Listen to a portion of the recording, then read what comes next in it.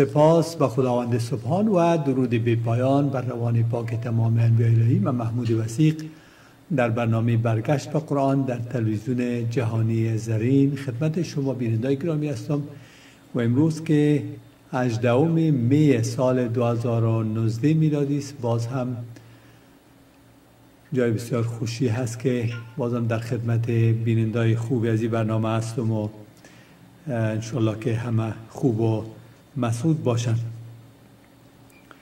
در برنامه امروز البته صحبت های داریم که باید بکنیم اما در ابتدا باید از دوستا و بینندای گرامی اظهار سپاس بکنم و خوشنودی و سپاس که واقعا لطف می‌کنن بسیار زیاد. تبصرهایی که می‌کنن و کامنت هایی که می‌گذارن و اینا از خواهر برادر ما از تک تکشان جای بسیار خوشی است و ما تشکر می‌کنم از لطف دوستا یک دو تن از دوستا البته سوالات هست که کردن دوستا یکی از اونا به نام آقای فرید عمر که در مورد حدیث قدسی سوال کردن و ضمنا در مورد نماز تراویح. مورد حدیث قدسی را هم فکر کنم یک تفسیری کردیم اما باز اگه اشاره بکنم که حدیث همش حدیث است نامای مختلف سرش ماندن حدیث قدسی. هیچ حدیث نمی‌تونه که مورد اعتبار باشه مگر که یک چیز سنده یا بگویم یگانه ملاکه که ما را می‌تونه مطمئن بسازه که یک چیز خوب و مفید هست و یک چیزی است که شاید بر پیامبر خدا نسبت داده شود او, او چیزی است که مطابق قرآن کریم باشه. اگر مطابقت عام تام با قرآن کریم داره خوب. اگر نیک نباشه اگر نامش قدسی بانن یا هر چیزی دیگه که بانن اونا جعل شده. و این حدیث قدسی هم که میگن پردن من مثال دادم که لولاک لولاک لما خلقت الافلاک. اگر تو نمی بودی و پیامبر ما آسمان و زمین پیدا نمی کردیم ایره به نام حدیث قدسی گرفتن. به نام حدیث قدسی گرفتن. و یک جعل محض است.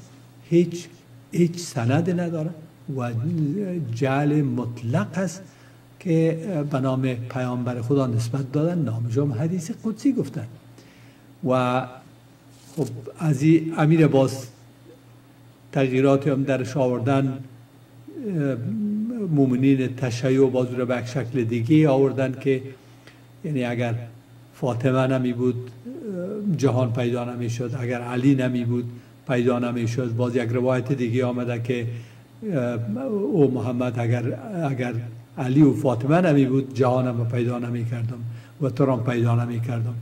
این اینا چیزایی است که تماما خرافات است که متاسفانه آوردن به نام دین در روایات آوردن. در حالی که همه انسان محمد صلی الله علیه و سلم انسان بودن. کاملا یک انسان تمام ایار مثل ما شما. فقط اونا شخصیت هایی بودن که واقعا خداوند اونا را بسندید که می‌تونن این شخصیت ها پیام خدا را با امانتداری خاصش بتانه بر امت یا بر بندای خدا بر امت خود و بندای خدا برسانند و ضمنا حضرت علی و حضرت بی بی فاطمه و فاطمه تو زهرا اینا شخصیت های بسیار والایی بودن که واقعا در تاریخ ثبت است اما انسان بودن. کاملا انسان. و ما اگر دنبال همچون چیزها بریم که بردن خداوند اگر این نمی بود یا اون نمی بود خدا دنیا را پیدا نمی کرد ما موقف خدا را بسیار پایین آوردیم. به یک انسان هستند. و این چیزایی است که بسیار نادرست است. پس فراموش کنیم که حدیث قدسی میگنش یا هر چیز میگنه هیچ وقت. کتاب ما قرآن کریم یاد می‌کنه که الله الله نزل احسن الحدیث. قرآن کریم اشاره می‌کنه که خداوند میگه ما احسن الحدیث ما براتان روان کردیم. الله نزل احسن الحدیث که بله آیه 23 سوره زمر الله نزل احسن الحدیث کتابا متشابه ها بهترین حدیث این قرآن کریم است. بهترین حدیث. قرآن کریم است. و مسلمان دنبال ازی باید باشه مسلمان ازی کتاب مسئول است. مسلمان ازی کتاب پرسیده میشه و مسلمان خودش به زبان خدا میگه. اعتراف می‌کنه که به قرآن ایمان داره.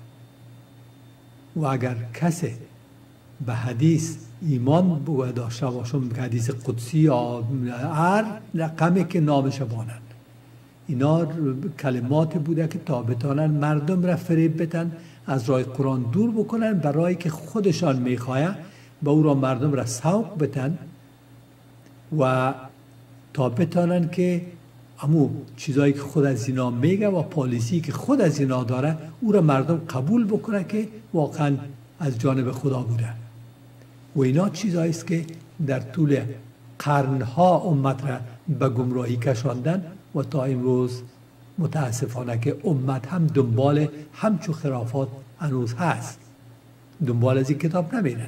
دنبال مو خرافات میرن که تا امروز امت را به هلاکت رسانده و کاملا از راه حق و عدل و وحدانیت دورشان کرده و ضمنا یاد کردن در مورد نمازهای دست جمعی یعنی تراوی که ایران ما هفته اول ماه مبارک رمضان اشارات کردم حتما بینیدی محترم ما آقای عمر برنامه را شاید ندیدن یا قسمت برنامه را ندیدن توضیح دادم که نماز تراوی پیامبر خدا یک بار یا نهایتا دو بار در ماه مبارک رمضان انجام دادن و تا روایات هست در بخاری که یعنی وقتی پیامبر خدا روز اول شب اول ماه مبارک رمضان با یارای خدا آمدن یک جای نماز خواندن شب دوم نامدن یارایشان پشت در پیامبر رفت و قلباب کردن که پیامبر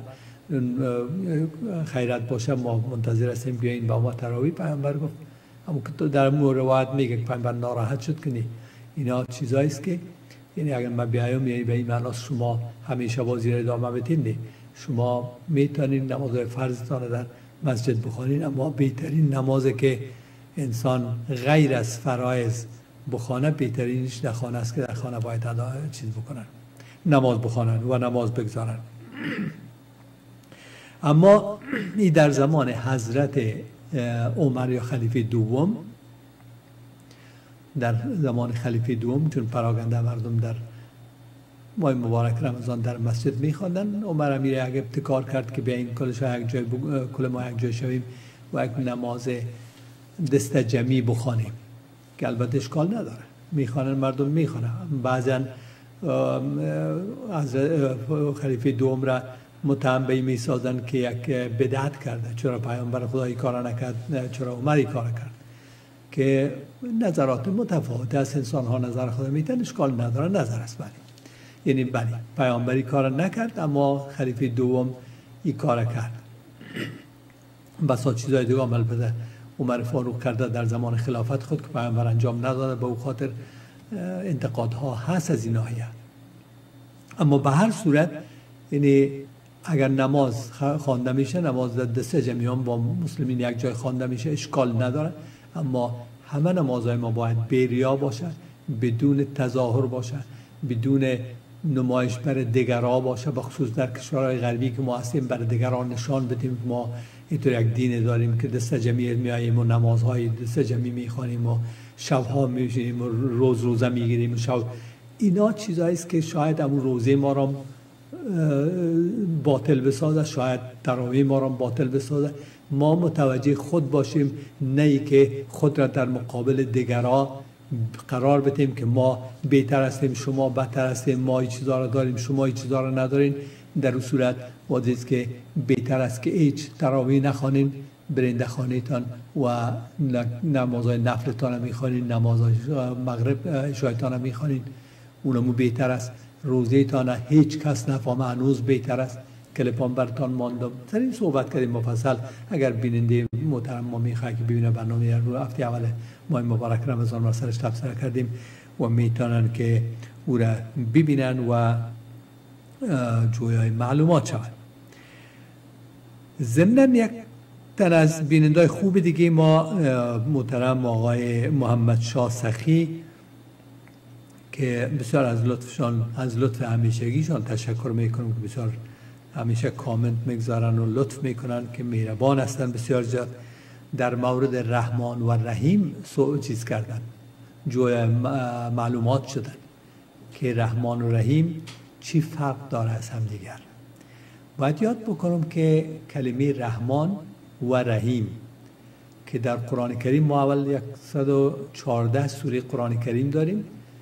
بسم الله الرحمن الرحیم که میگیم ام رحمان شاملش است ام رحیم شاملش است یعنی در 114 جای در قرآن کریم خب اگر بگویم که جز آیات نیست به استثنای دو, دو بسم الله که یک بسم الله الرحمن الرحیم در سوره فاتحه است سوره اول و یک بسم الله الرحمن الرحیم هم در متن در متن سوره نمل سوره 27 قرآن پاک.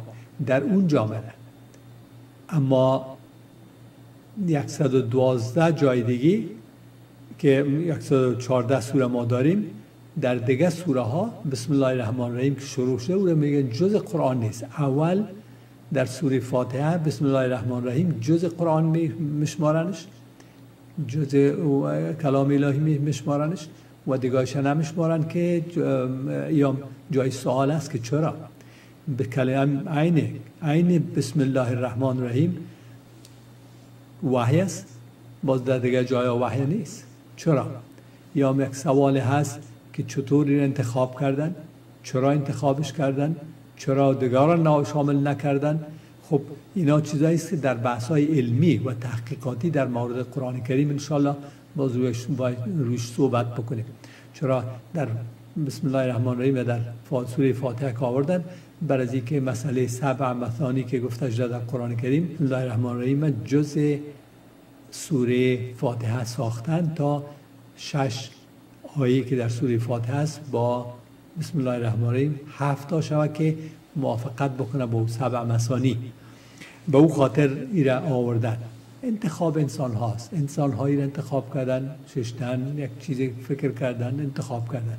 این خدا به این شکل نگفته که شما ایره بسازین شما ایره نسازین ایره بیارین ایره بیارین نبیارین این چیزایی است که امروز بسیار وقت این تحقیقاتی به قرآن نگاه بکنیم.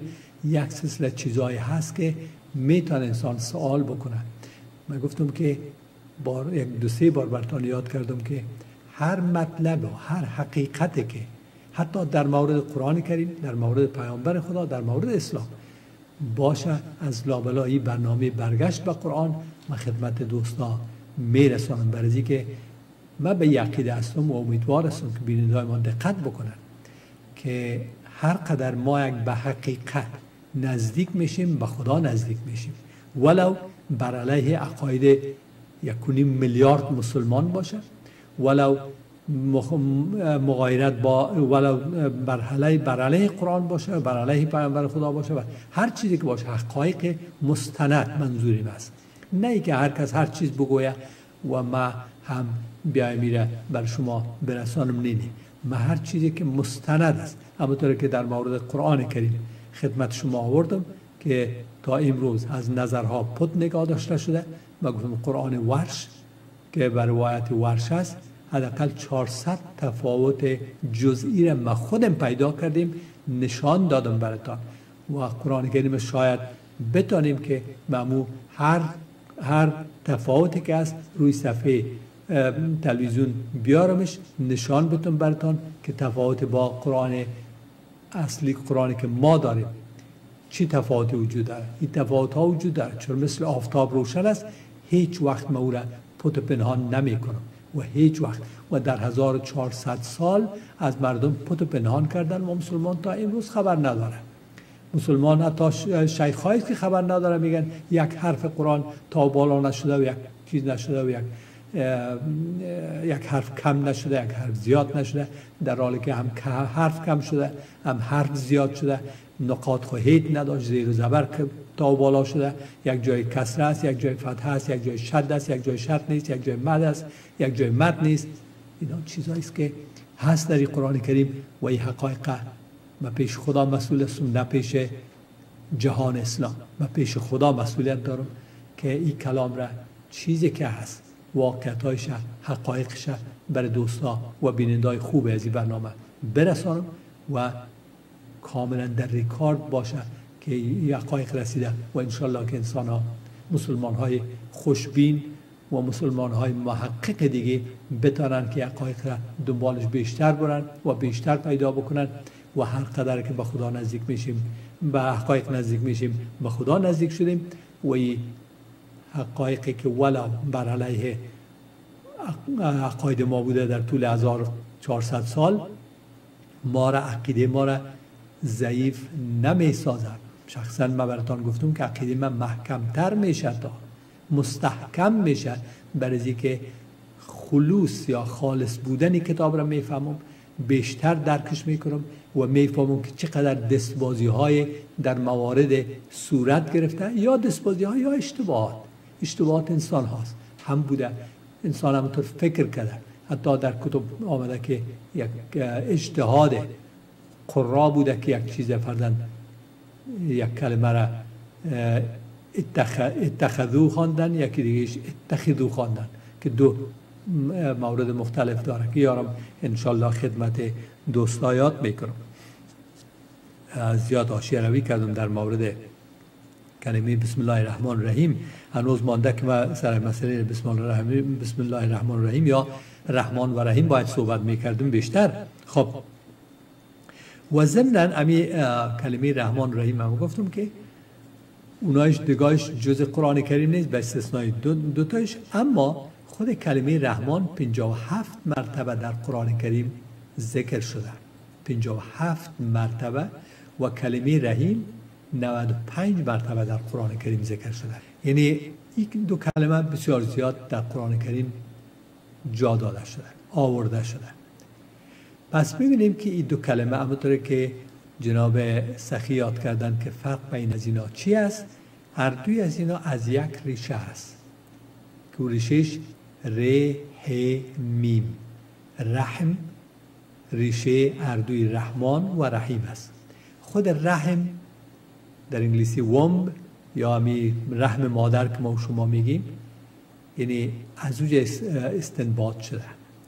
یعنی بسیار یک کلمه خوبی است و رحم مادر همونطور که همونطور که نطفه را در خود جای میده و کاملا حمایه می‌کنه او را کاملا نگهداری می‌کنه تغذیه می‌کنه احساس و احساس برش میده هر چیزی که است رشد میتش به مرور زمان در داخل رحم مادر. کلمه رحیم کلمه رحمان و رحیم که اردوشان اگر بگیریم از کلمه رحم تقریبا اردوش یک ریشه داره که گفتیم خداوند به خداوند اطلاق میشه که خداوند اون ذات است که بسیار رحیم و مهربان که میگیم هست از این چیز گرفته شده بنده های خدا دوست داره بنده های خدا بسیار برشان رحیم و مهربان است. اما ای که از نظر فرقی دوتا را ببینیم که در کجا خیلی فرق دارن این دوتا رحمان و رحیم. مسلما دو کلمه مختلف است. با وصف که یک ریشه دارد. کلمه رحمان بسیار عمومیت دارد جنرال یا عمومی هست. یعنی خداوند رحمان خداوند رحیم است برای بنده های خود نه تنها بلکه به تمام مخلوقات خود. به تمام جهان که خلق کرده رحیم است. یعنی لطف داره مرحمت داره. همه چیز برای انسان فراهم ساخته. ولو انسان است که فکر کنین اگر در مورد موجودات زنده غیر انسان بگوییم حشرات پرنده ها حیوانات و هر چیز دیگه یعنی خداوند لطف و مهربانی سر همه داره که بر از اونا همه چیز آماده است در اختیارشان است. غذا و همه چیز روزی خدا هر چیز پیدا می‌کنن در مورد انسان ها که اگر بیاییم در مورد انسان ها همچنان. ولو انسان هایی که به خدا معتقد نیست. ولو انسان هایی که حتی متاسفانه به خدا فحش بگویند. اما امکانات برش خداوند فراهم ساخته. او امکانات را از پیششان نمی‌گیرد. آفتاب می درخشه سر کفر مسلمان سر خوب و بد سر مؤمن و غیر مؤمن بارندگی به شکل همه امکاناتی که است. و این امکانات را خداوند از بندای خود نمی‌گیرن حتی گفتم که انسان است که جنایت می‌کنن به نام خدا. اما خداوند اونا را امی امکانات را انوز از پیششان نمی‌گیره. می‌گذاره که امید است که یعنی شاید شاید اون بندایشان یک روز متوجه شوند. شاید یک روز رای خدا بهتر بسازن حتی قرآن کریم در سوره نل وقتی که میفرمایه که سوره نل سوره 16 قرآن پاک است آیه 61 است ولو یاخذ الله الناس بظلمهم ما ترک علیها من دابه. اگر خداوند قرار اگر خداوند انسان را می‌گیره و ظلم که مرتکب میشنده روی زمین. که امروز ما شما بسیار می‌بینیم و وضاحت و سراحت می‌بینیم. انسان ها ظلم را که در زمین اینا مرتکب میشن اگر خدا با جرم از او انسان ها را بگیرن ما ترک علیها من دابه هیچ جنبنده در روی زمین باقی نمیمانه نه تنها انسان هیچ جنبنده در روی زمین باقی نمیمانه ولکن یاخرهم الى اجل مسمى. ولکن اونا را به تاخیر من داده تا وقتی که اجلشان بیاید که شاید متوجه شن یا که بیاین سرفکنده پیش خدا. به مو شکل یعنی خداوند سبحان همین امکانات را از انسان نگرفته. اگر بیره با همچون جنایتی که امروز انجام میشه شما فکر کنید به خصوص به نام خدا. به خصوص با کلمه الله اکبر گفته سربریدن ها انفجار ها انتحاری ها و اینا. و امروز هم شنیدیم که در هیرات یکی از شهرهای زیبای هیرات در داخل بازار مزهم یک انفجار صورت گرفته که چندین نفر کشته و زخمی شده در این ماه مبارک رمضان و ماه مبارک رمضان یا غیر رمضان یا شب یا روز کشتن انسان جنایت است و انسان هایی که انسان را می‌کشن اونا نا از حتی انسان نیستن چی رسه ای که مسلمان باشن ولو نماز بخوانن ولو حج برن ولو ریش بانن ولو چادر بپوشن. نه مسلمان هستن نه انسان هستن. در قالب یک انسان در آمدن ولی شیطان محض هستند مورا را به نام شیطان پرست های مطلق شیطان پرست. و کسی که در شیطان پرستی همچون انسان ها شک دارن ایمان خودشان در خلل است. ایمان خودشان در شک و تردید است. بر از که انوز اونا شک دارن که ولا اینا کلمه می‌خوانن. آیا مگر در کلمه خواندن کلمه چی سوده داره آیا کلمه خواندن پیش خود ارزش داره؟ کلمه می‌خوانن سر می‌برن؟ خب الله اکبر میگن مردم را 20 نفر 30 نفر 50 نفر می‌کشن. تو هنوز شک داری برش؟ اگر شک داری خودت شاید هیچ ایمان نداشته باشی یا ایمانت بسیار فوق العاده خراب باشه. و این ماه مبارک رمضان است که ایمان خود همچون انسان ها درست بکنن. همچو وایزین درست بکنن. و وایزین ها در همون جمله هستن برای اینکه اونام چوب گرفتن خاموش می‌گیرن و اینا را در حقیقت به شکل به زبان قال نه ولی به زبان حال تایید می‌کنن. برای اینکه آرام گرفتن. هیچ چیز نمیگن. برای اینکه اینا هم از امون منافع بهره می‌گیرن. ولی جزای خود باید ببینن و می‌بینن. پیش خداوند سبحانه. هیچ وقت این انسان ها پت و پنهان بودن نمی‌تونن منظوری می بود که اگر خداوند بگیره انسان ها را که نمی‌گیره یا لطف و مرحمت از او است رحمان بودنش است. همین سیغه رحمان بودنش است که اجازه داده که انسان ها خودشان برای خود زندگی بهتر تهیه بکنن. امروز چرا در کشورهای غربی هم چیزا اتفاق نمیفته بسیار اندک اتفاق میفته برای اینکه اینا عقلشان کار می‌کنن کنترل می‌کنن. تفتیش می‌کنن. تمام چیزها را دقیق در نظر می‌گیرن. رهبرای فروخته شده و شیطان صفت ما کشورهای اسلامی همه از اینا فقط در پر کردن جیب خودشان و ضمنا در به خاطر عزیز چطور با قدرت میخ شون و ثابت بانن و بعد یک چهار سال دیگه قدرت برانن. و در مورد رحیم بودن خب فرق بین رحمان و رحیم گفتیم. در مورد رحیم بودن رحیم بودن یک سیغه دیگه است که او را قرآن کریم گذاشته برای خود انسان ها خب در مورد رحمان بودن گفتیم عمومی است. امی لطف و مرحمت و اینایی از جانب خداوند سبحان در آیده حال همه است. اما در مورد در مورد رحیم محدودتر است. محدودتر به این معنا که خداوند سبحان ایره اجازه داده برای بندهای خود که او بندهایی که در جستجوی خدا هستند. او بندهایی که در جستجوی, جستجوی رحمت الهی هستند و آیده حال از اونا است. او بندهایش که دنبال خدا نیستند چون خداوند نمی آزادی رو بر انسان داده که خود انسان انتخاب بکنه. خود انسان دنبال خدا بره. برای اینکه حقایق را برش مانده در روی زمین مانده. نه تانه که پیامبر آورد آمدن کتاب آوردن و وحی و این مسائل بلکه چشم برش انسان داده که وقتی باز می‌کنه چشم خود می‌بینه جهان می‌بینه اطراف خود را می‌بینه آسمان را می‌بینه زمین را می‌بینه گل و باغ و بوستان را می‌بینه و خود نگاه می‌کنه خدای خودم می‌شناسه. او انسانه که دنبال حقیقت است به حقیقت می‌رسه. همونطور که قرآن کریم در سوره سوره انکبوت که یاد می‌کنه. سوره انکبوت آیه 69 والذین جاهدوا فینا لنهدینهم سبلنا. اونایی که در راه ما تپ و تلاش می‌کنن. خداوند میفرماید اونایی که در راه ما تپ و تلاش می‌کنن یعنی کوشش و سعی و خرج میدن که به سوی من بیاین حقیقت خدا را درک بکنن خدا را بشناسن لنهدینهم سبلنا. بدون شک من درها را باز می‌کنم که به من برسن به این معنا. یک پرافریز کردم یک, یک تعبیر کردم. یعنی به این معنا که لنهدینهم سبلنا حتما و حتما اونا را ما هدایت می‌کنیم برای خود. یعنی در باز می‌کنم که به من برسن. اونایی که کوشش می‌کنن پس در رحیم بودن مربوط انسان است که کوشش می‌کنن. اگر کوشش می‌کنن او او رحیم بودن خدا را مستحق میشن و اگر کوشش نمی‌کنن خدا سرشان تحمیل نمی‌کنن. چون همی آزادی را بر انسان داده که خود انسان باید انتخاب بکنه خودشان. و در آخر میفرماید و ان الله لمع المحسنین.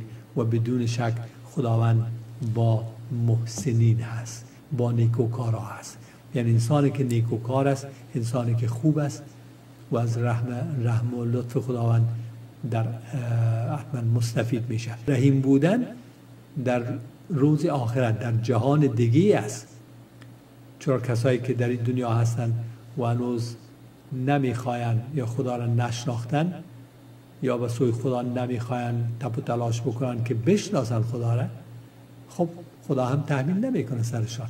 پس چیز در دنیا ندارن. قرآن کریم هم یاد می‌کنه که فما لهم فی الاخرت من خلاق. بر از اینا بر او کسا در آخرت سهمی نیست دیگه سهمی ندارن. برای که خود از اینا نخواستن تپ و تلاش نکردن. اما اونایی که تپ و تلاش می‌کنن سعی و کوشش و خرج میتن که به خدا برسن حتما به خدا می‌رسن. و خدا نیست جز لطف و رحم و مهربانی که انشالله آیده حال همه شود البته باید یاد بکنم کسایی که یعنی خدا را نشناختن هنوز در تپ و تلاش هستن. اینا فرق می‌کنه تا انسانهایی که خدا را رد می‌کنن. انسانهایی که نشناختن انسان خوب هستن شریف هستن نیافتن خدا را. به اشکال مختلف اصلا پیشان پوشیده است نیافتن. هنوز هنوز به اون حقیقت برقد نرسیدن. در اون صورت در تپ و تلاش هستن انشالله که خداوند لطف و مرحمت خود را ازشان دریغ نفرماید بله. این هم بود در مورد سوال آقای محمد شاه سخی که امیدوار هستم که کافی بوده باشه برشان در این مورد صحبت کردیم. اما در امروز بحث امروزی که می‌خواستم روش صحبت بکنم و او است که یکی از آیات قرآن که خداوند در سوره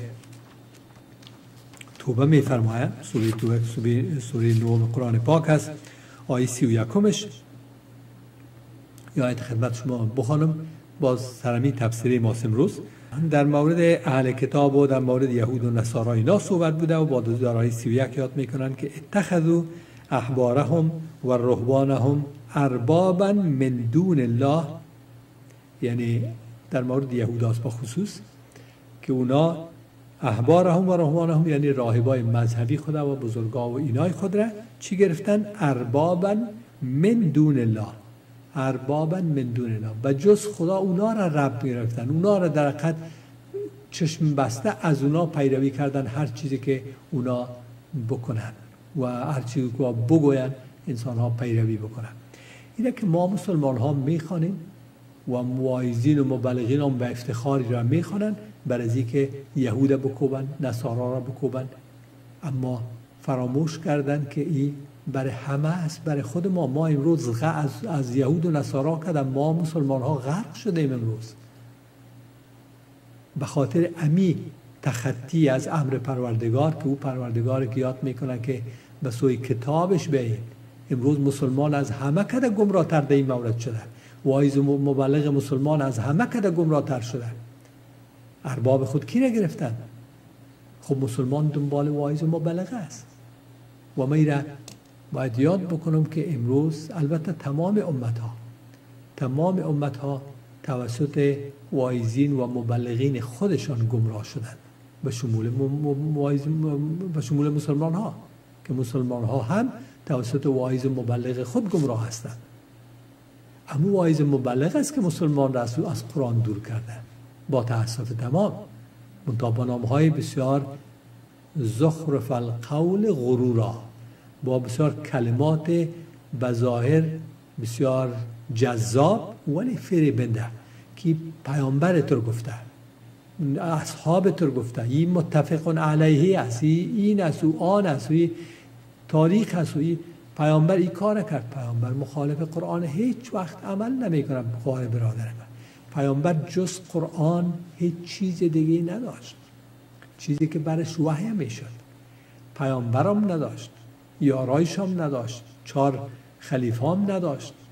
امامام نه. هیچ اینا نبود اصلا. اینایی که امروز به نام به نام کتب تاریخ و روایات اینا آمده حداقل دو سال بعد بوده.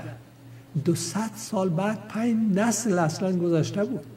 شما فکر می‌کنین؟ جمع کردن آوردن ساختن بافتن تا بتانن که یک دین دیگه جور بکنن اینه به این خاطر تاکید می‌کنم که مسلمان کتابش قرآن کریم است و تاکید می‌کنم که یگانه چیزی که ما ازش پرسیده میشیم قرآن کریم است و پس در اینجا که یاد می‌کنه خدا خداوند سبحان که اینا امو بزرگای مذهبی خدا چی گرفتن؟ من حیث ارباب خود گرفتن. یعنی ارباب به این معنا که اختیار خود کاملا به دست از اونا سپردن. که شما بگوین ما اونم تو می‌کنیم. امروز این چیز مسلمان می‌کنن. اکثریت مسلمان ها به جز مسلمان هایی که قرآن را اساس کار خود می‌دانند و از وایز مبلغ هم اگر بشنون می‌بینن که آیا قرآنی است یا نیست. اگر چیزی قرآنی است ولی انسان است میپذیره. چیزی خوب است قرآنی است میپذیره. اما اگر چیز قرآنی نیست دور مندازش ترشش می‌کنه آشغال می‌کنه شد برای که چیزی که رنگ قرآن کریمه نگیره ابدا به او پیامبر اگر کسی نسبت میده شاید وارد از خط قرمز تیر شده وارد شرک و کفر و هر فلاکت و بلای می‌تونن شون برای که خب قرآن یک چیز میگه. و او روایت جعلی و دروغی چیز دیگه میگه. او شیخ عرب هم برتان ماندم که یاد می‌کنه که تمام یا اکثریت علمای سنی متفقون علیه هستند که می‌تونه که یک روایت قرآن را منسوخ بکنه. با میمانم برتان بارها باید بانونه که دوستای ما ببینن که چقدر از اسلام مسلمان خود خود مسلمان برآمده وارد حریم کفر و شرک شدن به یه عنوان که یک روایت به قرآن را منسوخ بکنن قرآن را باطل بکنن. پس اگر چی اسلام است؟ هیچ اسلام در بین از اونا باقی نمیمونه مگر که اسلام قانون. اگر بگیریم دین بگوییم یک قانون او یک قانون دیگه است بر خود ساختن تا بتانن قدرت برانن و حکومت بکنن و از این مسائل که انسان ها آزاد است همین آزادی را داره که فمن شاء فلیؤمن و من شاء فلیکفر. کسی که می‌خواه ایمان بیاره با ایمان بیاره کسی می‌خواه کافر شود بگذارینش که کافر شود. فقط این برنامه برگشت به قرآن به خاطر است که تمام بینندای ما آگاه باشن که چی جنایات در بین مسلمان و مسلمان و کسایی که مبلغین هست چی جنایات تکان دهنده هم هست به نام دین اسلام که قرآن را رد بکنه به خاطر یک روایت. تا که روایت برای که روایت هم قدرت خودش تضمین می‌کنه. پس این بود که امی کلمی را که یاد کردم که در مورد از در مورد یهودی ها صحبت میشه و هم ضمن یاد می‌کنه و المسیح ابن مریم و ضمن حضرت مسیح ابن سر مریم که مسیحی ها و خدایی بگویم یا پسر خدا گرفتنش یا خدایی گرفتنش.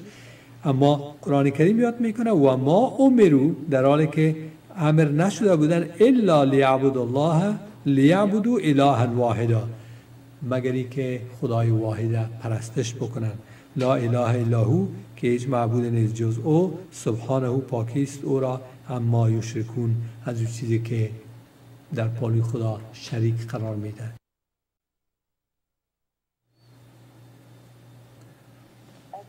سلام شما سلام مجدد خدمت شما. عبادت ها انشاءالله که قبول باشه. از شما همچنان ما باید چقدر سپاسگزار باشیم که خداوند به ما یک فرصتی دادن که ما بتونیم تصدیق اخبار و رفتار و اعمال خودمون رو در این آخرین فرصتی که به ما داده شده اون هم به وسیله احکامی که در قرآن برای من و شما 114 سوره قرآن هست بتونیم انشالله بخشیده شده به سوی خدا بازگشت کنیم.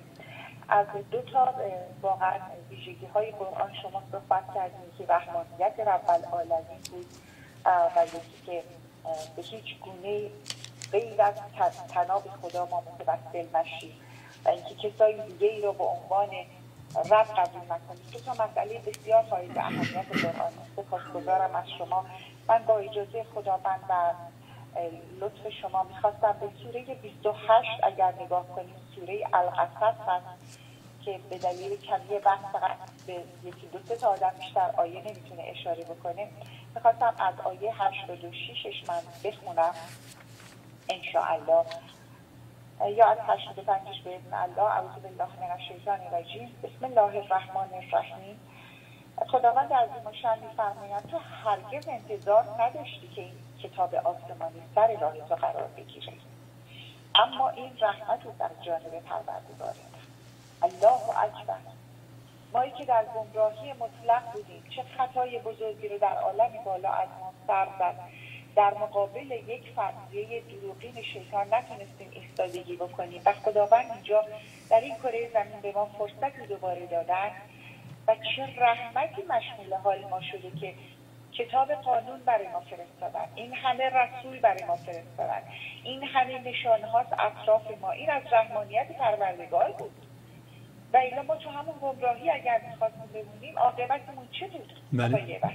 بله. بله. و چقدر این لطف و رحمت پروردگار شامل ما حال ما شده که بعد میفرماید بنابراین وقتی که شما رو قانونمند کردم کتابی براتون فرستادم که راهتون و اعمالتون اصلاح بکنه بنابراین طرفدار کسانی نباشید که این حقیقت رو میپوشونن. و از آیات خدا که بر شما فرستاده شده منحرف نشین و دیگران را هم به پروردگارتان دعوت بکنید و هرگز شرکی رو انجام ندید این چقدر این رحمانیت رب العالمین رو به من میرسونه که من با این درجه گناهی که داشتم این همه مورد رحمت رب العالمین قرار گرفتم. یه آیه دیگه هم هست در سوره 39 سوره الزمر که آیه 53 میفرمایند اعلام کن که ای بندگان من از حد خودتون تجاوز کردیم خطا کردیم اشتباه کردیم هرگز از رحمت خدا ناامید نباشید الله اکبر. زیرا خدا همه گناهان را میبخشد. او عفو کننده بی نهایت مهربان. یا رب العالمین. این رب ما. خالق یکتا با این بندگان خودش مهربان هست. می‌خواستم در مورد آیه سی و یک که فرمودیم انسان ها ربهای خیلی زیادی در کنار خدا قرار میدن. خودخواهیاشون هست رابطه های اجتماعیشون هست ثروتشون موقعیت های اجتماعیشون. خیلی چیزا می‌تونه بله بله. ما باشه. ولی یکی از واقعا ظریفترین مسئله که گاهی پیش میاد و ما متوجهش هم فکر می‌کنیم که با نگه داشتن رابطه اجتماعی ممکنه چه ضرر و زیانهایی برای خودمون بذاره که امتیازهای ویژه‌ای به یک شخصیت ها میده. سوره 29 آیه 25ش خیلی زیبا داره. خداوند در بیماشن اشاره می‌کنن میفرمایند او گفت شما در کنار خدا بودهای بدون قدرتی را به خاطر فشارهای اجتماعی پرستش می‌کنید. تنها به خاطر نگاه داشتن روابط دوستانه در میان خود در زندگی این دنیا سپس در روز قیامت یک دیگر را ترک می‌کنید و یک دیگر را نفرین می‌کنید سرنوشت شما جهنم می‌شود جایی که هرگز نمی‌توانید همدیگر را کمک کنید.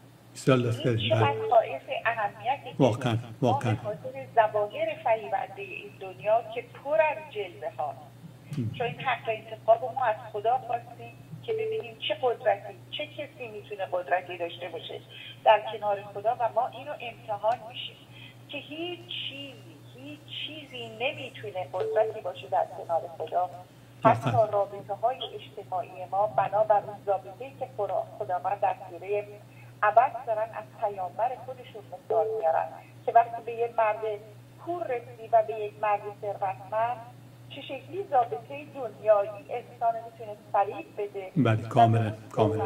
توجه پیدا شد بدون اینکه اون مرد پور که ایمانش تضمین شده تر از اون ثروتمند بود نگرش عوض میشه تغییر می‌کنه. انشاءالله مثل- این قرآن که راهنمایی برای زندگی ما بتونیم با اصول چارچوبی در زندگی بتونیم حرکت کنیم. انشالله. خداوند باید شفا و رحمتی برای هر آنچه که قلبتون را آزاد سپاسگزارم از فرصتی که به من خواهش. می‌کنم. لطف کردین. آه، شما همچنان. و علیکم السلام. صحبت کردیم در مورد از که انسان ها فرزن دنبال انسان های دیگه میرن و خداوند این نکوهش کرده. چرا نکوهش کرده؟ خدا چرا نخواسته که انسان از انسان دیگه پیروی بکنه؟ ولی بسیار واضحه است اصلا. برای اینکه انسان موجود است ناقص انسان موجود, است خودخواه. موجود است که منافع خود را به هر شکل و ذریعه که باشه می‌خواه منافع داره منافع خود را تضمین بکنه و انسان ناقص است. عقلش ناقص است نمی‌تونه قدر بگیره. ولو که انسانهایی که بسیار مؤمن و خدا پرست هستند حتی خدا نمیگه که شما از اونا پیروی بکنید. هیچ جای نمیگه. ببینید جالب است که حتی قرآن کریم در مورد پیامبرها نگفته. یک پیامبر نگفته خداوند شما سر پیامبر اعتماد بکنید. هیچ جای قرآن کریم ما نداریم که و علی, الرسول یعنی برای رسول شما توکل بکنید. هیچ جای قرآن کریم نداریم. یا علی علی محمد. هیچ جای قرآن نداریم. فقط توکل به خداست و بس. اعتماد به خداوند است. برنامه برگشت به قرآن بفرمایید سلام آقای رفیق من ویده هستم از آلمان. ویده جان سلام علیکم. خوب هستین؟ صحت شما خوب؟ امید خوب باشین؟ لطف در شام در این شام مقبول که ما یک ساعت باز به داریم برای شما درست است. راست میگین در آلمان.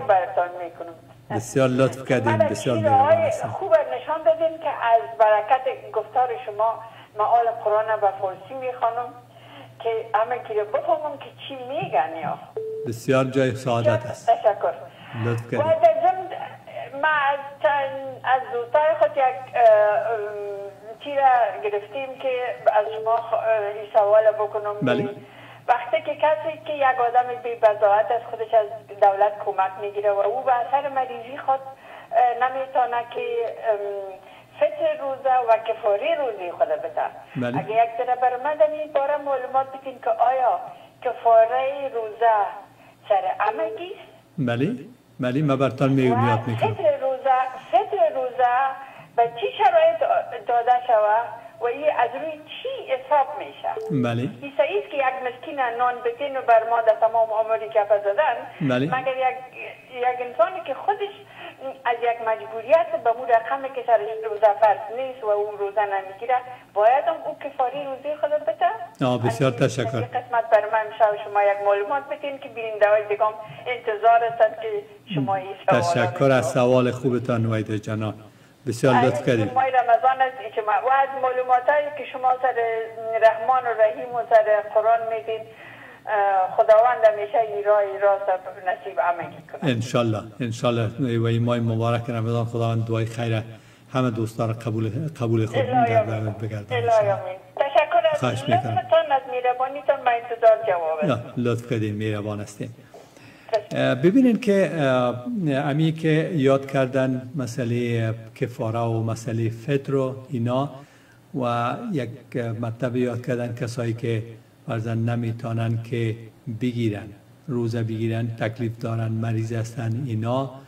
خب اه، اگر کسایی که ببینین در دو حالت هست یکی کسایی است که مریض هم هستن و یا کهنسال هستن روزه گرفتن هم می‌تونن و ضمنا بیچاره و بیبزاعت هستن خودشان. و هیچ سرشان نه کفاره هست نه سر از اونا فطر روزه است اونا باید حتی دیگرها باید اونا را کمک بکنن. با واسه که اونا روزام نمی‌گیرن. چون ضعیف هستن یا مریض هستن یا کهنسال هستن روزه هم نمی‌گیرن. خب کسی روزه نگیره باید خودم مسئول میدانه که خیلی کفاره بته یا فطر روزه را بته و اینا. اما اونا مکلف نیستند بل- بلکه دیگران مکلف هستند که بر از اونا کمک بکنن کمک مادی هم بکنن.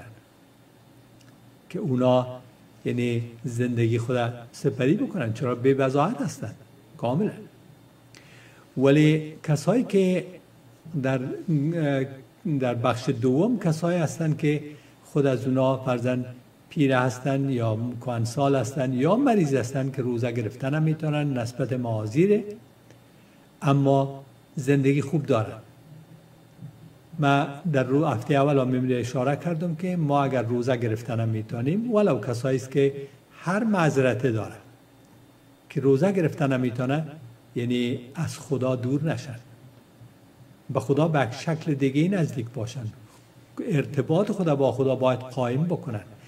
روزه روزه انسان را می‌تونه که تسکیه کنه. تسکیه نفس می‌کنه انسان ها در ماه مبارک رمضان. خب اگر از طریق نخوردن و ننوشیدن در چند دوازده چهارده ساعت و پانزده ساعتی که هست در البته در آلمان یک ساعت دو ساعت زیادتر است اونا می‌تونن از یک طریق دیگه تسکیه بکنن.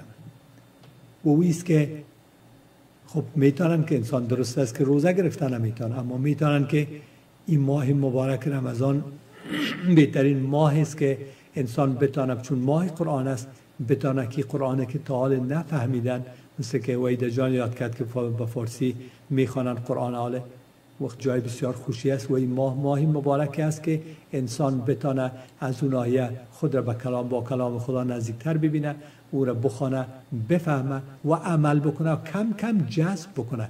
اگر تا آخر ماه خلاص نشد دو ماه سه ماه شش ماه یک سال دیگه که انسان آیسته آیسته بگیرن و حزم و جذب کرده بتانن در زندگی خود پیاده بکنن و این بهترین یک انسان می‌تونه که شود. اما در مورد از که کفاره و فطر فطر روزه و کفاره روزه البته فطر روزه در قرآن کریم نامده به این شکل منتها میگن که این در روایات آمده از پیامبر خدا نقل شده که خب یک البته چیز خوبی است. یعنی من به می خاطر میگم چیزای خوبه. باید پسندید که انسان هایی که روزه می‌گیرن اونا پیش از که اید شون یا پیش از که رمضان ختم شود باید فطر روزی خود بپردازند برای یک غریب و بیچاره. کسایی که مستحق هستند برای که اونا شاید برای اید یک آمادگی می‌گیرن برای یگان لباس و یگان خوراک و یگان کیک و کلچه هر چیزی که از شیرینی اینا آماده می‌کنن برای خود. یک آمادگی یک کم کمک شون بر از اونا که چیز بسیار خوب است. قرآن کریم نمیگه.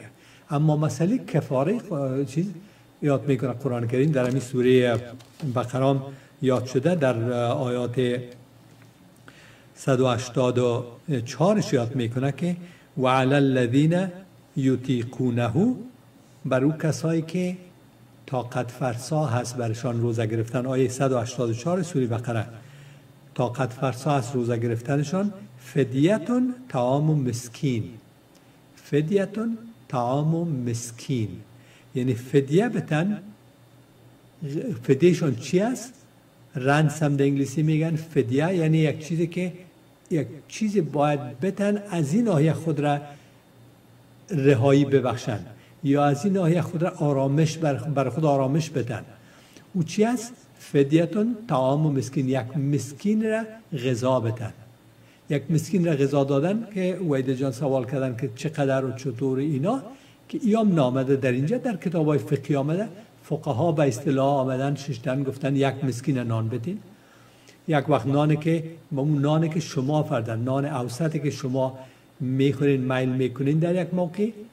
اگر غذا برشان تهیه میتین غذا برشان بتین. اگر یک مقدار پول برشان بتین. بردن به حساب امریکا میشه 5 دلار ده 5 تا 10 دلار. یک وقت نان است که برای یک مسکین میتین اونا یک شکمشان سیر میشه به اصطلاح. اما امی کلمه تام و مسکینه که من گفتم در قرآن کریمه که بر روایت ورش که من البته اشاره کردم پیش در اول بر روایت ورش آمده در اون جمعی تام و مساکین گفته شده. یعنی هم یکی از تفاوت است که انشالله در آینده سرش صحبت می‌کنیم. در اینجا مسکین گفته شده در اونجا مساکین گفته شده. یعنی اینجا گفته یک مسکین نان بتین و اونجا گفتن مساکین نان بتین. که اینجا چیزای فقهی است. کسایی که قرآن را نقد می‌کنن اونا ما شنیدیم البته کلپایشانه که اونا یاد کردن که خوبی یک مشکل کلان فقهی است. حال یک نفر که روزه نمی‌تونه بگیره او یک مسکین نان بته یا 20 مسکین نان بته چطور است؟ بله اونم درست میگن. از نظر کلمه مسکین مفرد است و نظر و مساکین جمع است.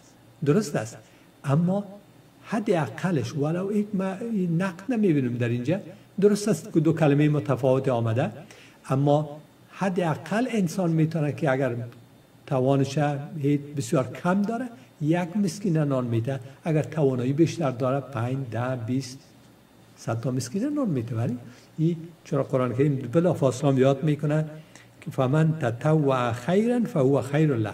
کسی که کار خیر به میل و رغبت خود انجام میده یعنی بیشتر از توانش هم است انجام میده اونا در حقیقت برشان خوب است برشان بهتر است.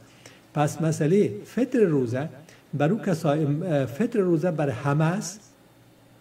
یک فامیل که پنج نفر هستن در فامیل میگن در امریکا فرزن 50 دلار در آخر ماه برشان برای غریب بیچاره داده شد. پس کافی است. یعنی یک بار داده میشه.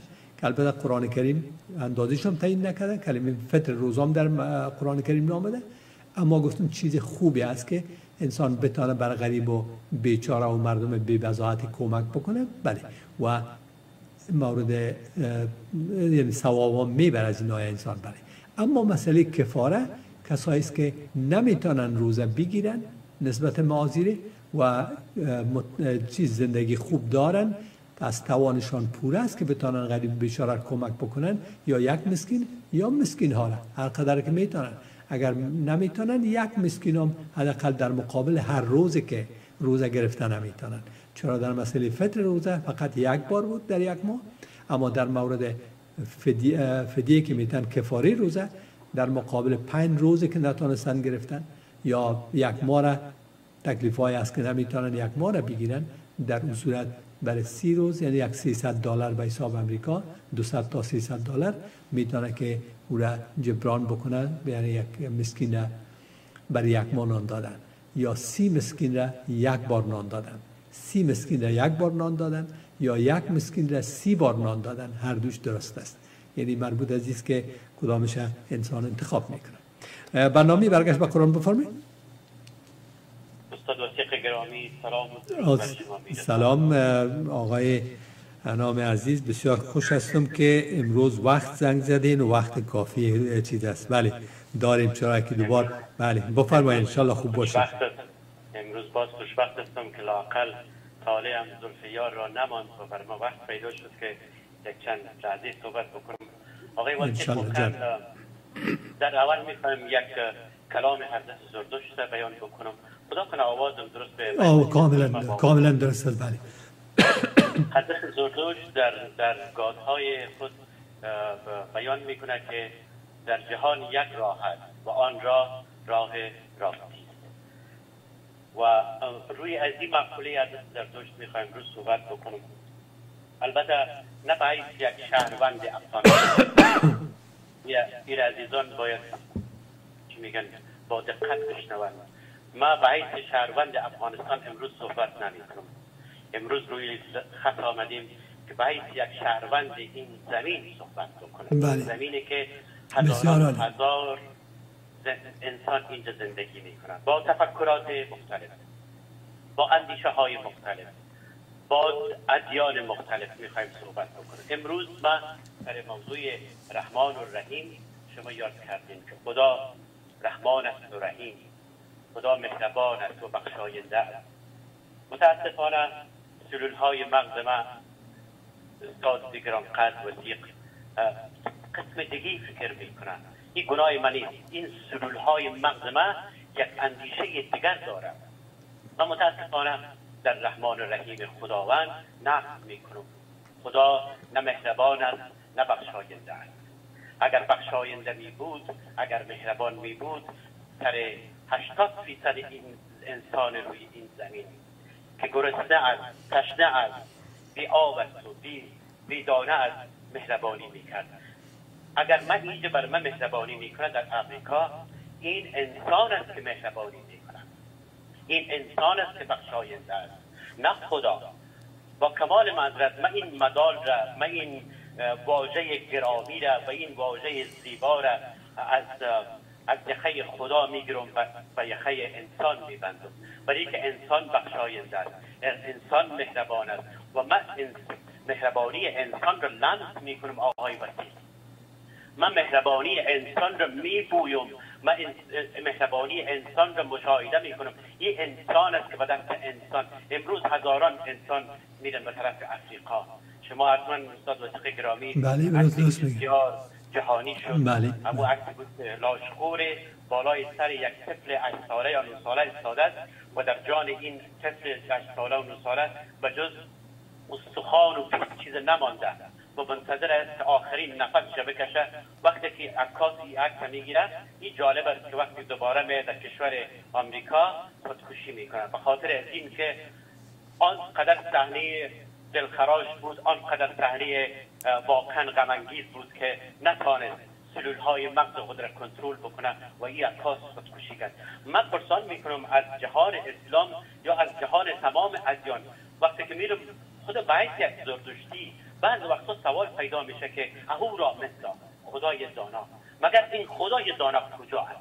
مگر این خدای دانا چرا چشم ندارد؟ مگر این خدای دانا چرا گوش نداره؟ چرا به فریاد انسان ها نمی‌رسه؟ کجای خدا را شما مهربانی دیدید؟ ای انسان ها نباید مغلطه صحبت بکنیم. امروز در تمام ادیان آقای وسیق امروز می‌خوایم آزادانه صحبت بکنیم. و امروز باید یک شهر شهروند زمین شما میگه امروز راه ماه راستی است ماه رمضان است. امروز می‌خوایم باید یک انسان راستی فریاد بزنم که کجا شما خدا را دیدین که به دست غریبه به دست گرسنه به دست بی آبی به دست انسان آتش زده گیلاس آب سر بده. و این انسان است که می‌رسه به انسان ها اما یک شیر است میگه بیا شانه بر شانه یاری کنیم بیا تا هوا را بهاری کنیم بیا در غم لاله و ارغوان شبی تا سحر بیقراری کنیم. این بیا آقای وسیق کی هستند این بیا من هستم این بیا شما هستین و این بیا همه انسان ها هست. این داد به خدا ندادن برای که ما از خدا صدا نشنیدیم. برای که ما از خدا نشانه ندیدیم. برای که مهربانی خدا را فقط ما من در آوردی صحبت کردیم. حقیقت است آقای وکیل. این حقیقت مسلم است که مهربانی خدا را هیچ کس ندید.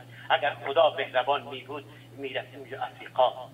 و میلیون ها سرزمین جز آفتاب این چیز دیگر ندارد. سرزمین جز گرما هیچ چیز دیگر ندارد. سرزمینی که قطر آبی نیست سرزمینی که سرسینه نیست سرزمینی که اصلا آب و هوایی نیست. اونجا مهربانی خود اگر خدا مهربان می بود آنجا باید مهربانی می‌کرد. این آیات که آورده این آیات آیات انسان هاست آقای وسیق ما در گادها عین چیز دیدم. در قرآن عین مسئله را دیدم در انجیل عین مسئله را دیدم فقط من در آوردید فقط برای خدای خود ما به اصطلاح مدال دادیم. ما انسان هستیم خدا را مدال دادیم. من تفسیر می‌کنم روش من. تفسیر می‌کنم روش حتما انشالله بله. لطف شما. ببخشید خواهش می‌کنم. با این کلمات مهربانی را تنها باید برای انسان داد نه برای خدا. بسیار اما امیدوار هستم که دلهای عزیزان را نرنجان داشته باشیم که در این ماه به اصطلاح مبارک رمضان به اصطلاح اعصاب نه نه واقعا ابراز کردین نظرات خود را چیزی که شما فکر می‌کنین نظراتان ابراز کردین و ما هم نظر خودم میتم دوستای بینندای گرامی ها میشنون می‌بینن و نظر هر, هر کس امی آزادی را داره که نظر خود ابراز بکنه جای خوشی است بله. استاد وسیق گرامی یک آرزومندی دارم. که مهربانی خدا را علمی شما ثابت بکنید برای من. و روی روی ایویدنس و بله. شما برای من ثابت بکنید. من از طریق تلویزیون گوش بسیار لطف کردید بسیار. خواهش می‌کنم. مهربان هستید با امان خدا. ای که خداوند مهربان است من در ابتدا یک اشارات کردم که یعنی اگر بیاین که من مثال به تو اشارات کردم در ابتدا که یعنی خداوند اگر انسان را بگیره و عمل کرده انسان امروز که من مثال دادم که به نام خدا قتل می‌کنن الله اکبر میگن و می‌کشن و انتحار می‌کنن اینا را مثال دادم. چون آقای انام محترم یاد کردن یک من نکته دیگام به خاطر مامد که خب او را که بگذاریم او انسان هایی که به نام خدا می‌کشن و قتل می‌کنن او را بگذاریم. بلکه امو انسان هایی که امروز به نام خدا پرست خدا می‌گیرن اما کسایی هستند که غصب کردن. مال مردم را قدرت مردم را. قدرت همه چیز غصب کردن برای خود فقط به خاطر بقای خود اینا کار می‌کنن. و تمام این امکاناتی که در روی زمین هست که برای همه بشریت از حد کفافشان بالاتر است. از حد کفاف بشریت بالاتر است. امکاناتی که در روی زمین هست. و او را حیف و میل کردن امروز بزرگترین بزرگترین بجت یا بودجه جهان را بودجه نظامی تشکیل میده میلیاردها صدها میلیارد دلار یا شاید صدها تریلیون دلار است که در جهان تمام ممالک مصارف نظامی صورت می‌گیره. به خاطر از که بتانن قدرت خود تحکیم ببخشن بخواهن تعرضات بکنن و یعنی از این عنوان. در حالی که اونا اگر مصرف تمام جهان شود در جهان در افریقانی که در هر گوشه جهان هیچ گرسنه باقی نمیمانه نه تنها گرسنه همه باید خانه داشته باشن همه امکاناتی که ما در غرب داریم ما در امریکا داریم و در اروپا داریم. اونا باید در اونجا داشته باشه هر کس. ولی ایره کی غصب کرده؟ امو انسان غصب کرده که آقای هنوم یاد کردن که ما از یخی خداوند می‌گیریم و یخی انسان چیز می‌کنیم که انسان رحیم است. خب مسلما یک تعداد انسان ها رحیم است. ولی یک تعداد انسان ها اونموتر جنایت کردن که مثل که تروریستا می‌کنن به نام خدا. همونطور یک انسان ها است که جهان را سرمایه جهان را غصب کردن به خاطر منافع سیاسی و اینای خود مصرفش می‌کنن. اگر خداوند ذات رحیم مهربان است. اما ما که از خدا اگر اینطور انتظار داشته باشیم که خداوند دست به کار شود همه کار او باید درست بکنه من فکر می‌کنم که این دیگه یک اندازه یعنی نظام را که خدا خواستش بوده طرح و دیزاینی که او کرده ما اون نظام را میگیم اینطور نظام نمی بود باید یک نظام می بود. خب من به یقی دستم که خداوند که این دیزاین کرده و این طرح را کرده یک دیزاین آزاد و سیستم آزاد است که انسان ها با امکاناتی که در دستشان است خدا پرست باشند خدا دوست باشند و انسان سالم باشند بشر دوست باشند بشر دوست باشند که بتوان انسان ها را همه جهان را کمک بکنن و تمام امکانات را از هیچ کس نگیرن در اختیار همه بگذارن. در اختیار همه بگذارن. و ای که کجا خداوند فرزند مهربان است من یگایی را در جریان صحبتشان چیز کردم خواستم پیدا بکنم در سوره زاریات است البته. سوره زاریات که سوره 51 قرآن پاک است. در آیه 19 همش خداوند یاد می‌کنه که وفی اموالهم حق للسائل و المحروم و یک آیه دوام از در این مورد که در مورد فقرا اینا یاد می‌کنه که وفی اموالهم حق معلوم للسائل و المحروم در اموال اغنیا حق مشخص هست بر سائل و محروم کسایی که گدا هستند و کسایی که بزاعت هستند. حق مشخص برشان در اموال اغنیا هست برشان که باید اونا بپردازن نه به این معنا که اغنیا بپردازن و اونا انتظار داشته باشن که اونا احترام شون و اونا یعنی ممنون از اونا باشن نه نه. اینجا قرآن کریم یاد می‌کنه که و فی اموالهم حق للسائل و المحروم و حق از اونا است. اگر اگر انسان های متمول او کمک را برای غریب و به بزاعت و نادار نمی‌کنه این گناه بزرگ است برای که حق از اونا را غصب کرده. و این قرآن کریم بسیار واضح میگه که او حق از اونها هست همین افریقا را که شما مثال دادن آقای انام عزیز مثال دادن. اونمو حق از در در انسان های پیش انسان های با با متمولی است که امروز جهان را کنترل می‌کنن. پیش از اونا است. یا هر انسان دیگه که هر چی کرده می‌تونه. حق مسکین را باید ادا بکنه که ادا نمی‌کنه که مسکین مسکین مانده. علاوه به اینکه مسائل سیاسی ما پیشتر سرش تفسیر کردم که مشکلات خود داره که مصارف حیف و میل بسا چیزهای دیگه میشه. و از افریقا اینا که مثال دادن.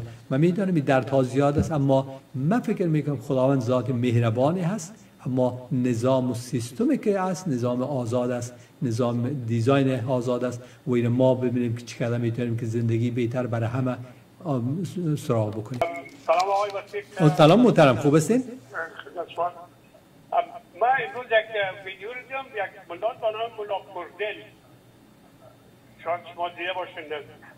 پردل نه پردل بنام پردل من ندیدیم یگان ویدیو اینا رو می‌بینم که جالب باشه؟ ببینیم که البته جالب است. از این ملاها ملا بسیار چیزایشان جالب است بسیار. بله. ملا ملا پردل ایرانی است البته از ملاهای سنی البته ملای شیش هم از بله. این ملا پردل به که از سن هفت سالگی باید که ما اولادا را به نماز تشویق کنیم. در سن ده سالگی اگر اینا عبادت کنه باید اینا را لد کنیم بزنید تا شان و؟ ما مطلقا غلط می‌دانم اصلا. مطلقا ما غلط می‌دانم. اینا اول قرآن کریم را یاد نمی‌کنه. قرآن کریم یاد نمی‌کنه. دومی که بله ما یعنی به این معنا که تعلیم داده شود چرا؟ تعلیم داده شود بسیار خوب است. من فکر می‌کنم یک هفته قبل هم سرش صحبت کردیم که اولادات طفلای خورد خودشان وقت پدر و مادر نمازخانه است می‌بینن نمازخان است انسان خوب است روزگیر است قرآن خان است هر چیزی که است اولادها می آموزند اولادها از پدر مادر می آموزند عملا بیشتر کاپی می‌کنن تا ای که برشان گفته شود. چی اگر برشان گفته شود و اونا خودشان عمل نمی‌کنن ولی بر اولاد بگوین اولاد خب واضح است که یک وقتی که متوجه میشه که خود پدرم این کار نمی‌کنه و از من پرسان از من می‌خواه که من این کار بکنم خب خنددار میشه. اما عملکرد خود والدین است که می‌تونه که اولادها را به مسیر سالم بکشانه. اما ای که شما یاد کردین که در سن 12 سالگی لطکوب خب ببینید که این روایات مزخرف و ناجور است که آمده هستند. اولی که لطکوب کردن اگر یک طفل ای کاش ما یک ویدیو را یک بار ماندم که یک شاید باز, باز بانمش که ملا در دان مسجد ساده هر کس که یک چوب می‌زنه وارد صنف درسی می‌کنه و یک دختر دیگه که اونا هر کس هر طفلی که میاوره یک هاگ میته بغلش می‌کنه یک امروش یک ساعتی یا می‌کنه باز رایش و بسیار خوبی در صنف را میتشه در حالی که ملاکت چوب زده هر کس در را می‌بره که باید درس بخوانند خوب شاگرد چی تعلیم می‌گیره؟ و یک چیزی که بزور هست او تعلیم تعلیم شیطانی است نه تعلیم انسانی. یک چیزی که بزور هست. چرا؟ من به خاطر من یک رفیق داشتم در بیرود و او نماز روزه می‌گرفت ولی نماز نمی‌خوان و او می‌گفت که یک روز من گفتمش که هموتاقیم بود. پرسان کردم که خب روزه می‌گیری باید نماز نماز دلیل داره که نمی‌خوانی گفت من پدرم که بود مرا صبحانه بلغت می‌زد بیدار می‌کرد که برو نماز بخوان و اگر نماز نمیخوادم نان نمی‌دادم. و از این مسائل که من مترکایی بسیار چیز شده واقعا. من گفتم خب کاملا کار نادرستی بوده اما امروز ما سی, سی سال هر قدر که عمر داشتیم در اون موقع گفتم در این سن سال دیگه ما خود ما می‌دونیم من پدران مشکلات مشکلات داشتم و پدرم از اون ملایات گرفته همین چیزا که باید لطو گوب کنه. در حالی که با محبت و با صمیمیت اولادها تعلیم داده شود و به اشکال که بتانه اولادها علاقه بگیرن و علاقمند شوند و خودشان ادامه بدن. حالت کوب اینا سیستم مزخرف است و سیستم ناجور هست اصلا نه پیامبر خدایی را توصیه کرده نه اسلامی را توصیه می‌کنه ولی ملا از یک جای شنیده اون را قبول کرده خلاص یک کتاب نوشته کردن و عملی می‌کنن. بسیار تشکر از شما. برنامه برگشت به قرآن بفرمایید. سلام علیکم آقای وسیق سلام محترم خوب هستین؟ بفرمایید. زنده باشید تشکر و صحبت های بسیار نازنین شما. همیشه لذت می‌بریم پروگرام های شما را میشنویم. منتها یک سوال خلق شده میگه چهار پنج نفر هم هستیم و چیخ سابقا قرآن پاک موجزه خداوند است و تلاوت هم میشه دارای هم و صوت هم است حالا فرق ازی با لیسان خود عربایی که گپ می‌زنن. بله. کدام تفاوت بین ازی از فرق وجود داره؟ آیا قرآن پاک مثلا ما نسل که صحبت می‌کنیم اینا ما خود صحبت می‌کنیم می‌بینی؟ صحبت بسیار عادی روزمره ماست. بله. اگر مثلا من می‌خوایم بخوایم یک سخنی موضوعی بگویم بوده دلا بلای شعر میاریم بله. درست است. اینا قرآن پاک هم دارای صوت است که تلاوت میشه. بله. قرآن پاک. درست است. اما اینا عربا وادی که گپ می‌زنن این بین خود تجارت و دینی صحبت روزانه ای که دارن.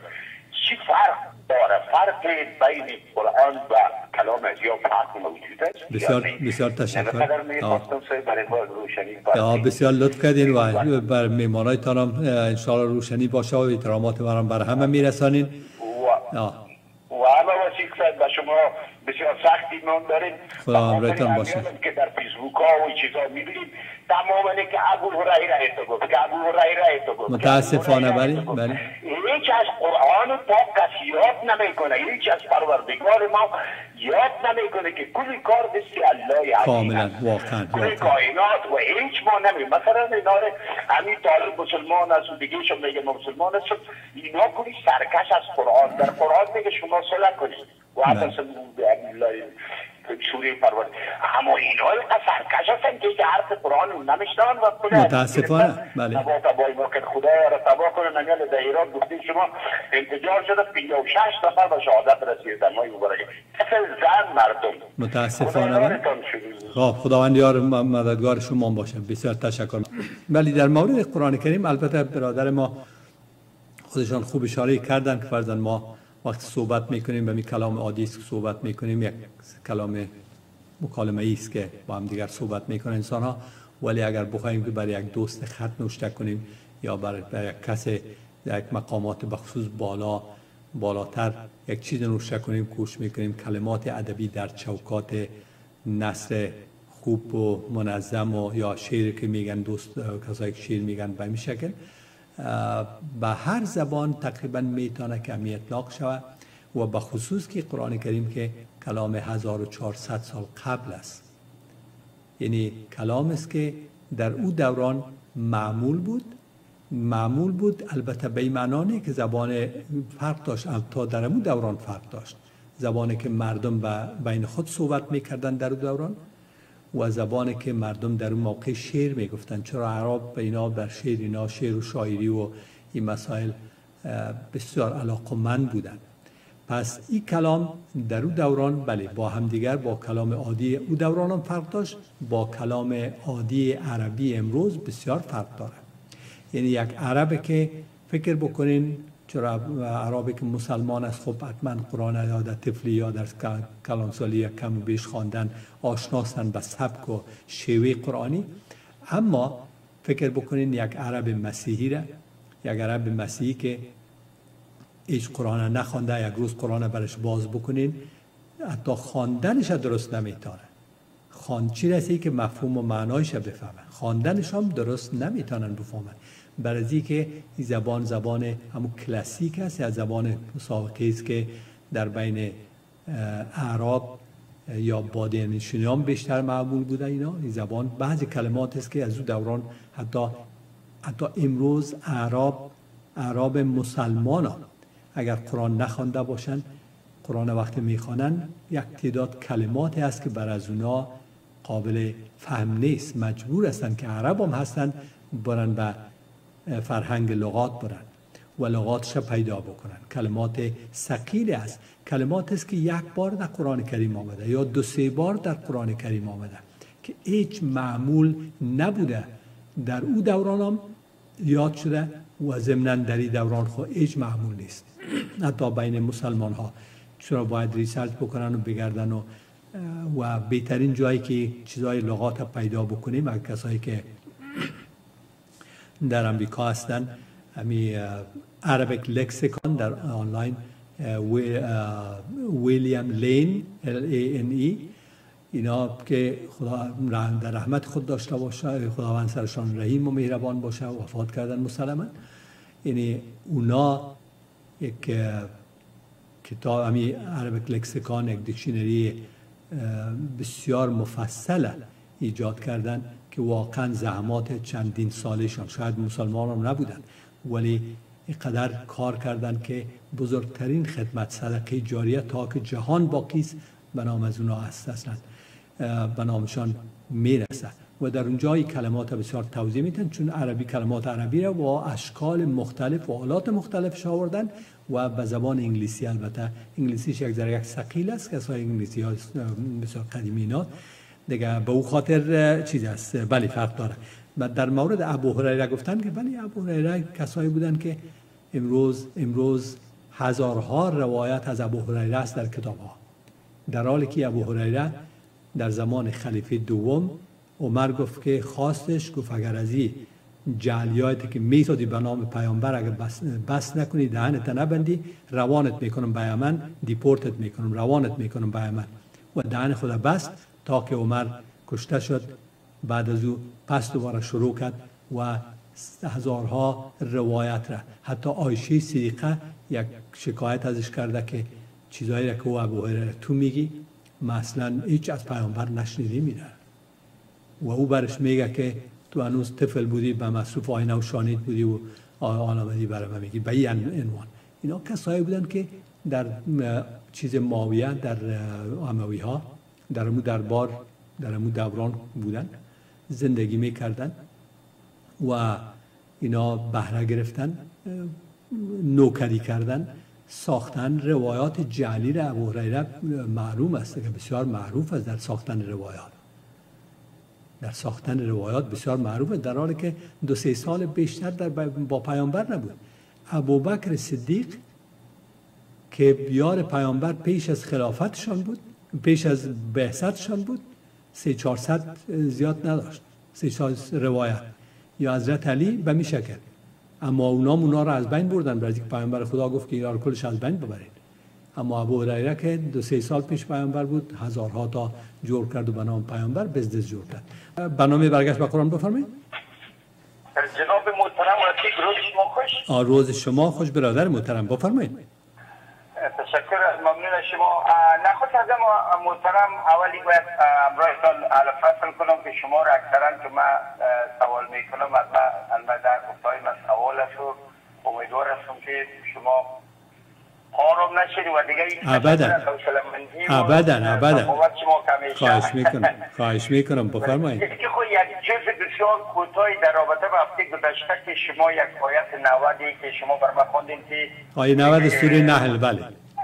امی نه که شما بگویید که در این آیت چی هست کاملا کاملا. یک ثانیه اگر بگویید یک باقیمانشون به نظر ما عقیده ما که ما زندگی بشری از خرد انسان که برای اجازه میده کمی فکر کنی که اولین بار باید در قرآن می آمد که شما از فروش انسان جلوگیری کنید. ببینید این اولین کلمه است. کرامت انسانی بیشتر پایمال از پرده و پرده فروشی بود. چنان شما یک چند پیش مشغول زمه دارو گفتیم که چون پرده فروشی رواج بود خداوند در قطن پرده فروشی را من نکرد که پرده ها به اصلاح والد و نشد اولین آیت باید برود که انسان انسان پیشی خداوند همه گیر از رب العالمین عالمی همه انسان ها را که پیدا کرده مساویانه همه انسان را همه زاده. باید این میره من می‌کرد که فروش انسان و چون رواج بود او زندگی بیابانی انسان فروشی و همین نفع بود چنان چه اون آیت آمده که کسی که برده تو را که برده یکی ایست که این آیت نامکمل است به این دلیل انسان اینجا بله. ارزش نداره یکی یکی اگر شما یک لطف کنیم که همین قصه قرآنی است قصه حضرت یونس که در شکم ماهی بود. بله؟ بله. این چی همین چی رقم خرد انسان قبول کنه که در شکم ماهی قصه افسانوی مولانا توجی است که در داخل شکم ماهی دیگه برای یک مدت یک اتاق لکس داشت قرار خواب بود که شکم. این چی رقم انسانی رو گفت این قصه پیش افتاده بله. من تفسیر می‌کنم. این قصه ساخته شده است بفرمایید. خواهش می‌کنم. لطف کردین میربان هستین. بسیار تشکر برادر محترم. برنامه آزاد است. باید خدمت همه بینندای گرامی یاد بکنم که هیچ وقت نه مقار میشم و نه صلاحیت دارم که قار شوم.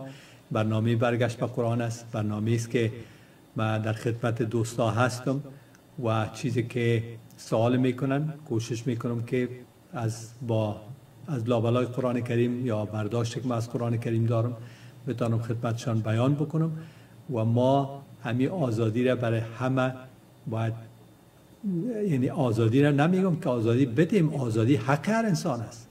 ما کی هستیم که بتیم ما یعنی اگر ما غصب کردیم تاله اونایی که غصب کردن بله ایره باید حق مردم برشان پس بدن تادیه بکنن. هر انسان آزاد است که سوال بکنه هر انسان آزاد است انتقاد بکنه هر انسان آزاد است که عقیده به یک چیز داشته باشه یا نداشته باشه خودشان است.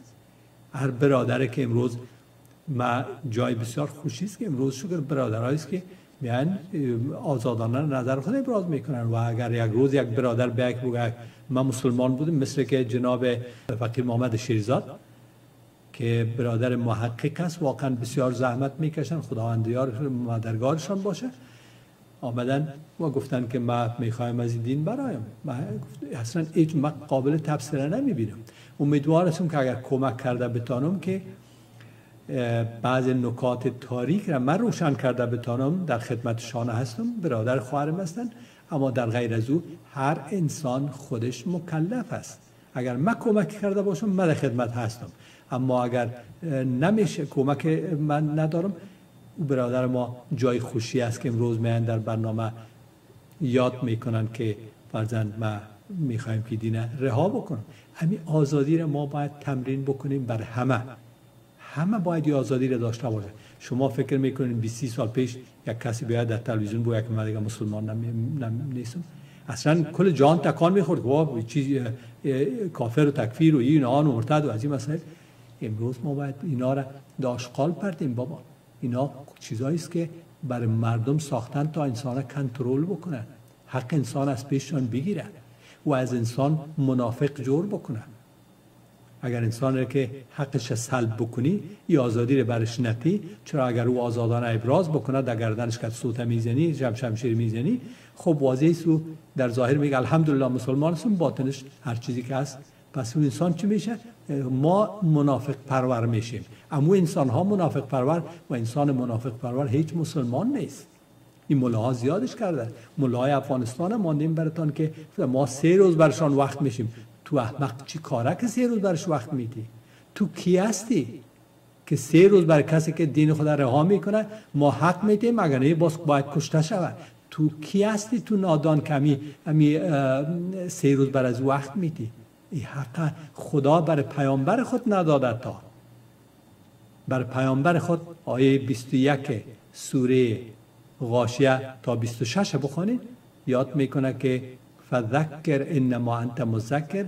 او پیامبر تو پن بته مردم را وظیفه تو فقط نصیحت کردن است.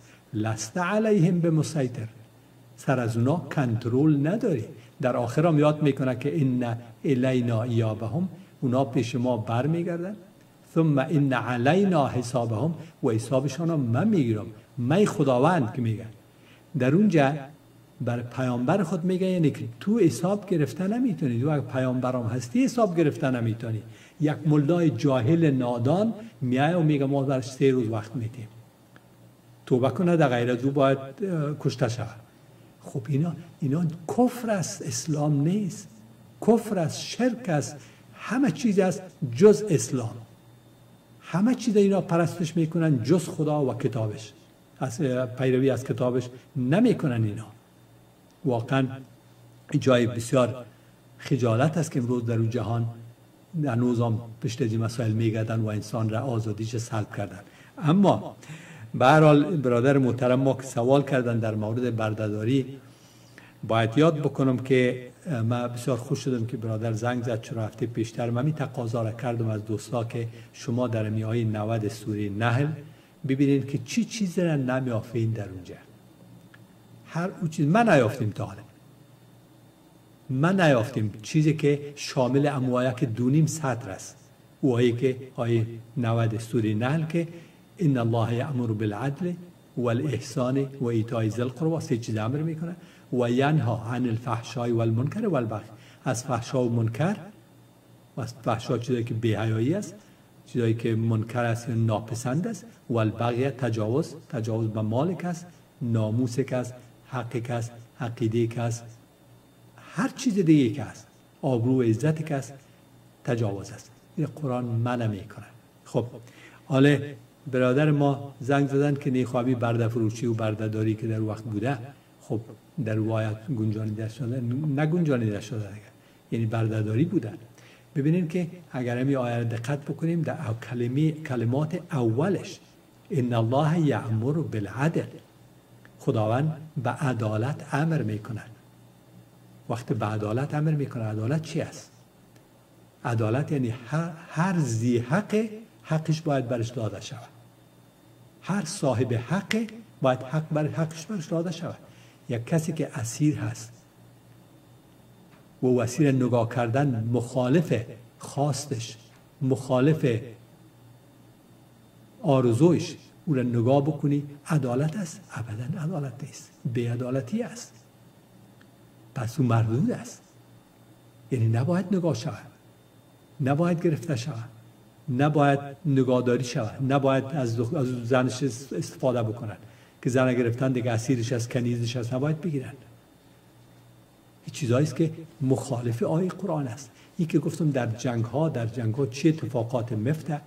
من یک بار دیگه یاد کردم توضیح دادم که واقعا یکی از لطف و مرحمت الهی است که مهربانی که داره سر کسایی که در جنگ شکست می‌خورن و میرن مردایشان فرار کردن یا مردایشان کشته شدن. فکر کنین که زنهایشان ماندن در اونجا دخترای جوان گریخته نتانستن زنها گریخته نتانستن. و لشکران به سویشان به هجوم میاره. و چی میشن او خانما در اون میدان زیر تجاوز جان میدن. تجاوز اساکر انسان است. خب به می مردم اینم طور گفتن.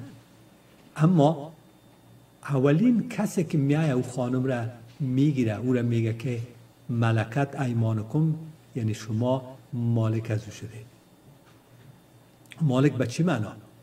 به این معنا که او خانم یا برادر داشت همراه برادر خود آمده بود یا پدر داشت یا شوهر داشت که اونا را از دست داد. ولی فعلا هیچ کس نیست دیگه. اونا اینا به پناه هستند اولین کسی که اینا را مالک میشه در حقیقت ولیشان میشه. نه که او برده شد او غلام شد کنیز شد. و تو ما انسانیت ما البته ما یعنی انتظار از این نداریم که امروز چقدر وحشت است در بین مسلمان. امروز چقدر وحشیگری است در بین مسلمان هایی که مت... practicing Muslims. چقدر وحشت است امروز. که ما شما در ویدیوها می‌بینیم در اخبار میشنویم. از 1400 سال پیش ما چطور انتظار داشته باشیم؟ خدا انتظار نداشت از اونا. عملی نبود برشان. منتها برشان گفت که همین که یک نفر می‌گیره شما ولی از او دختر هستید ولی از او زن هستید مثال مثال آمد تا دادیم که در افغانستان ما کاغذ, کاغذ پرانی که می‌کردیم بودی پرانی که آزاد می‌شد کلگی 20 نفر میدوید اما نفر اوله که گرفته بود گودی پرانه می‌گرفتن دست دراز داشت قد بلند داشت میگرفتش. دیگه کل آرام میشتن دیگه بس تمام بود دیگه. در غیر از او در غیر از او هر کس می‌خواد که بیره. خب ببینین یا بهترین یک مثال است واقعا. که خانم که می‌گیرن یک نفر گرفت ولی شد دیگه زیر پروتکشن یا زیر حمایه. از امون نفر میآید. و دیگه هیچ کس به اون نه تجاوز می‌کنه نه به احترامی می‌کنه.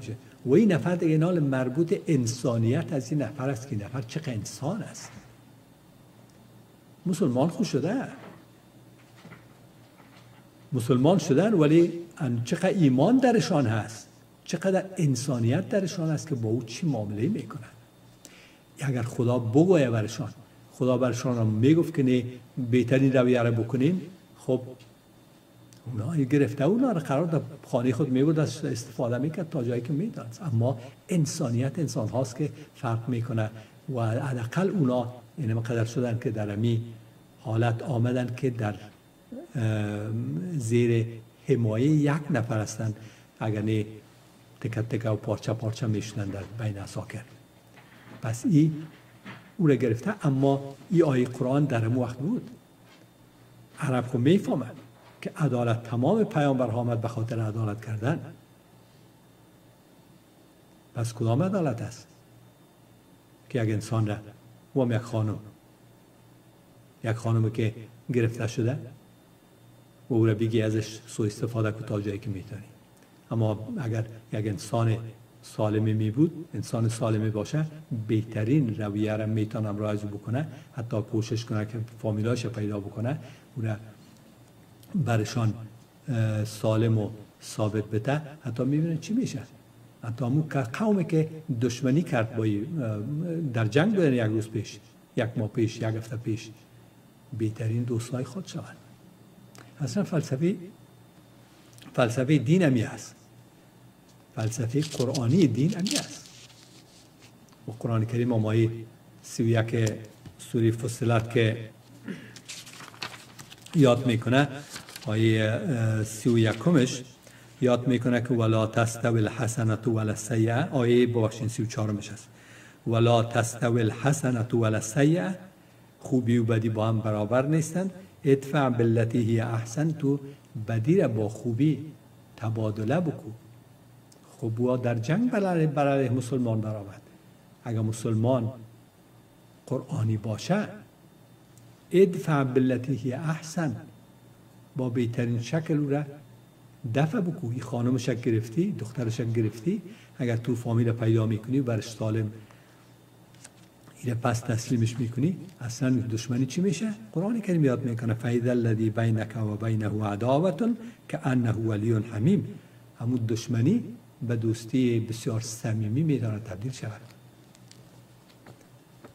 کاملا. یعنی قرآن کریم ما به این شکل می‌بینیم که واضح بسیار زیاد واضح و روشن هست و در تمام در یک پارچه وقت آدم می‌بینه قرآن کریم در کاملا یک مطلب دیگه است. در کلمه اولش ما پیچیدم که عدالت کدام عدالت است که حق یک انسان سلب کنی؟ آزادیش سلب کنی؟ کدام عدالت است؟ نیست قرآنی نیست. ولی چقدر در او جامعه 1400 سال پیشتر اعراب که یک ماه پیش مسلمان شدن. یک هفته پیش مسلمان شده. یک سال پیش مسلمان شده. اصلا اصلا چقدر ما انتظار داریم که اسلام قرآنی در بینشان بیاید. تغییر و تحول انقلابی در بینشان به بسیار مشکل. وقت کار داره. تا امروز متاسفانه در, در مسلمان جا نفتاده بعد از اینکه مسلمان از قرآنش دور است. مسلمان کی دور کرده؟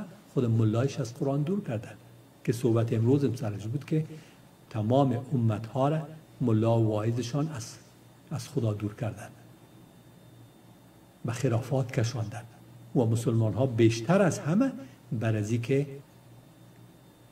من رفتیم در معبد یهود رفتیم توراتشان پیش رویشان باز است.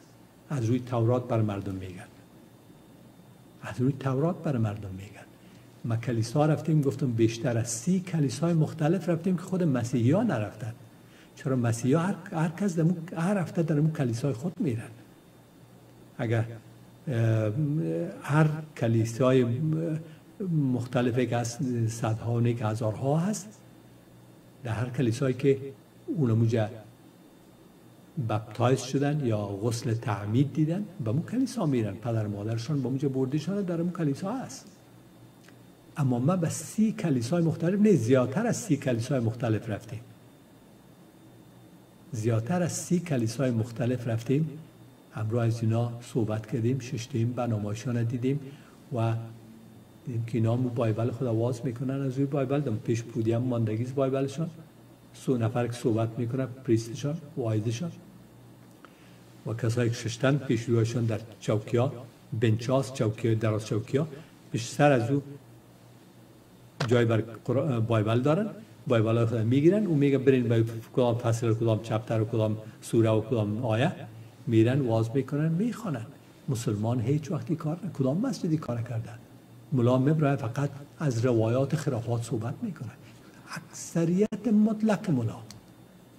اکثریت مطلق وایز مبارک اگر نامش دکتر است یا ماستر است یا پروفسور است این خرافات درشان هست. همین خرافات درشان هست متاسفانه. به سوی قرآن نامدن و به سوی قرآن ابدا اینا نمیاد برای اینکه اونا به مو شکل ساخته شدن. اما همین گپ خودم یک گر بهتر بسازم وی که این ماهی مبارک رمضان است و ایام برادرای ما هستن که اگر ایمان در قلبایشان جا داره این ما را دست کم نگیرن شاید تا ماه دیگه هیچ کدام ما نمی‌فهمیم که کی زنده است کی نیست. این ماه ماهی برگشت به قرآن است. بیان به سوی قرآن و از قرآن بیاموزن و از قرآن از منبرها صحبت کنند. از قرآن در شورای خود صحبت کنند. از قرآن از قرآن در وبسایت خود صحبت بکنند. از این خرافات بپرهیزند که جهان را بدبخت کرده و مسلمان را بدبختتر بد بد بدبختترین امت معرفی کرده. و اینا پیش خدا مسئول هستند اگر ایمان به خدا داشته باشند و پشت قدرت و شهرت و پول اینا نگردن. این مردم را به سوی کتاب خدا بکشانند اگر در اروپا هستند یا در امریکا هستند یا در افغانستان یا در عربستان. در هر کجایی که هستند اینا باید به سوی کتاب خدا بیان. و از این ماه کده ماه بزرگ و ماه رحمت دیگه بیشتر کجا باشد و زمین مسئله کلیسا را یاد کردم. اخیرا یک دو هفته پیشتر که کلیسا تازه رفتم. خوشبختانه که در اونجا که وقت ما خودم معرفی کردم بسیار خوش شدن. بسیار خوش شدن که ما یک برنامه داریم. برنامه شناخت ادیان. تازه گفت شروع می‌کنیم هفته آینده گفت شروع می‌کنیم. و این هفته آینده برای من نعمت خوب بود. رفتم اولش شرکت کردم. امروز سر هندویزم یا صحبت میگن از دین هندویی در کلیسا ویدیو میمانن کتاب توضیح کردن کتابش برام کتاب کتاب برام آردر دادن به نام Christianity in the World Religion. برای ما آردر دادن. هفته دیگهش برای ما آوردن. و هفته بعدیش سر بودیزم صحبت کردن. کل ما شرکت می‌کنیم میشینیم صحبت می‌کنیم و نظر میدیم ویدیو رو می‌بینیم. و در این هفته که سبا هست سبا سر اسلام صحبت هست که از ما خواستن که ما باید صحبت بکنم. امروز مسلمان های ما را متاسفانه قدر دور از حقیقت کردن که تا میگن از کلیسا اگر پولی کلیسا تیر میشی گناهگار میشی اصلا در تیر نشو اصلا. و ما ما که میرم اصلا کلیسا و مسجد و معبد یهودی اصلا پیش ما تفاوت قطعا نداره. حتی از یک تعداد مساجد کرده کلیسا را ما ترجیح میدم یک با انواع یک برنامه گرفتیم در این مورد. یوتیوب گذاشتیم که از بعضی مساجد از بعضی مساجد کرده کلیسا معبد یهود بسیار شرف داره بسیار شرف داره واقعا. بعضی مساجد است که اینجا من میرم اصلا برای من اجازه نمیتن که از قرآن صحبت کنم. نماز می‌خوانی بخوان اما اجازه گپ زدن نداری این مساجد این مسجد خداست. لانه شیطان میشه. متاسفانه. لانه شیطان میشه. برای اینکه کنترل یک انسان می‌گیره از قرآن صحبت نکن. از اون شیطنت ها باید صحبت کنی. خیر است. واقعا. و این جفایی است که مسلمان دارن. مسلمان ما اگر بتانن به سوی کتاب خدا بیان این ماه مبارک رمضان اگر در این ماه پس آنها بیاین اشکال نداره. منتها بیاین هر چی زودتر. والله که اگر چشمشان پد شد. با این شکل که من مسلمان می‌بینم جهنم جایشان است. وایز مبلغ در قدم اول. برای اینکه ایناستند که مردم را به این گمراهی کشاندن در حالی که قرآن کریم همین هنوز آیات ما مانده که ما چند دقیقه وقتی که داریم آیات ما مانده. البته برادر ما یک سوال هم راستی کردن مثل قصه یونس. من سر قصه یونس و همچو قصه ها یا قصه اصحاب فیل و قصه یونس و از این قصه ها من هم پیچم برادر, برادر خواهر عزیز من. من می‌دانم قصه است که امروز عقل ما و خودت اید نمیپذیره قصه را. عقل ما و خودت اید نمیپذیره. این قصه ها در کتب آسمانی وجود داره برش افسانه هم جور کردن برای که توجیه بکنن چیزهای مختلف دیگه دادن برش. راه های دیگه برش کوشش کردن که اگر توجیه بکنن که چطور چیکار هر رقمی که بوده. ولی داستان مختصر قرآن یاد می‌کنن و در انجیل در تورات هم یاد شده البته. شک درش نیست. حتی از حضرت عیسی هم نقل شده که همونطور که یونس سه روز و سه شب در شکم مایی می باشه من یعنی ما بنی آدم هم می‌تونه که سه روز در شکم خاک باشه در شکم زمین باشه که میگن. وقتی بعد از صلیبش به خاک سپردنش سه روز بعد زنده شد و با آسمان رفت. البته چند هفته بعدش اینا تا قصیش در این ارتباط هست منتها به اون خاطر بله داستان هایی هست که ما ببینیم از اونا اگر چیزایی گرفته می‌تونیم چرا داستان ها بسیارش به شکل مثال و تمثیل و استعاره و اینا هست. ای که چگونگیش خالق می‌فهمه. من هم توضیح دادن نمی‌تونم و اگر توضیح هم بتم چیزی که ما آموختیم توضیح بتم بر بینندای ما بر خواهر برادر ما هم قناعت بخش نخواد بود. به او خاطر ما از او کرده کوشش می‌کنم چند دقیقه وقتی که دارم سر می آیات چنده که در این مورد من کردم که وایزین هر امت امت, خود امت مردم خود را به گمراهی کشاندن. آیات چنده که من داشتم یک آیش خدمت دوستا یاد کردم. قرآن کریم در سوره در سوره سوم سوره آل عمران است. آیه 64 یاد می‌کنه. قل یا اهل الکتاب بگوی بر اهل کتاب.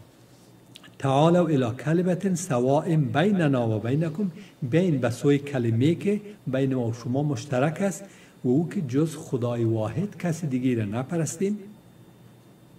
ولا نشرک به شیئا و بر شریک قرار ندیم ولا ببینید. ببخشید.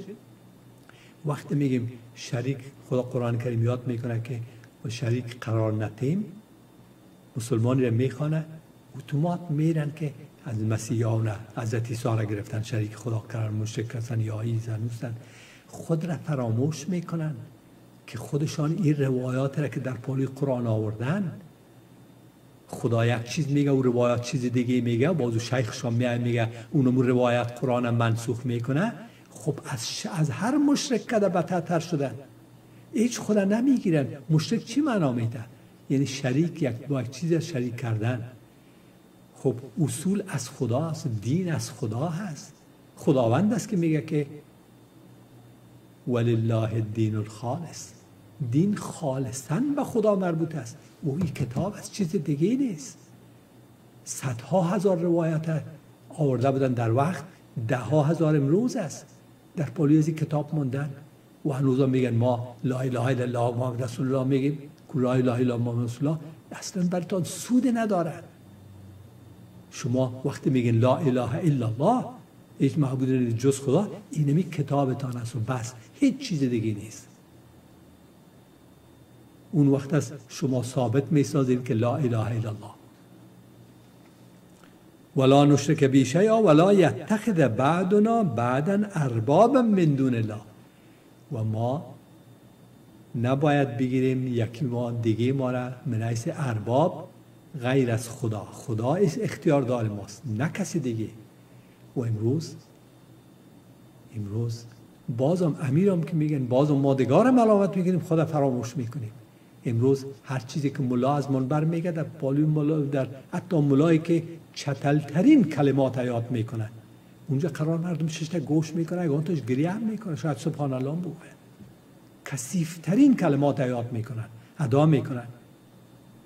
به پیامبر توهین می‌کنن به صحابه توهین می‌کنن به انسانیت به شرف انسانی توهین می‌کنن. ولی اون ملاس ششته و مردم ازش میشنوه مردم به خود زحمت نمیده که برای کتاب خدا رو بخونن. اینا مگر کیا هستن؟ ارباب گرفتن ملای خدا. یک ملای نادان جاهل بیسواده متعصب را ارباب گرفتن خدا را فراموش کردن. کتاب خدا را فراموش کردن. با این زیبایی و با این عظمت که عمر انسان اصلا نمی‌تونه عمر 80 70 70 80 سال کافی نیست برای این کتاب. کافی نیست برای این کتاب. که تعمق بکنن تمامی کلمات این فراموش کردن آمدن دنبال خرافات از این قبیل. و فاین تولوا فقولوا اشهدوا باننا مسلمون. پس اگر اونا رو گشتاندن اگر اونا رو گشتاندن بگوین که ما تسلیم خداستیم. پس آیا مسلمان تسلیم خداست؟ این سر ما باید بگویم. ما اول خود تسلیم خدا بکنیم. اگر نه ایره که خجالت آور است که ما میگیم ما تسلیم خدا کی هستیم؟ نام ما مسلمان است تسلیم خدا نیستیم. اگر تسلیم خدا هستیم باید از این کتاب پیروی بکنیم. و فراموش نکنیم برادر خواهر عزیز ما که ماه مبارک رمضان است. در این ماه روزه می‌گیرین روزایتان خداوند قبول بکنه. ثوابشان ثوابتان بیشتر. اما اگر گرفتین یا نگرفتین خداوند با شما هست. اگر شما خدا تزکیه بکنین در این ماه با کتابش خدا نزدیک بکنین. و این کتاب را تا جایی که مقدور از در این ماه مبارک بخوانین. بفهمین درک کنین مطابقش عمل بکنین. خداوند یار و مددگار همه باشه انشاءالله.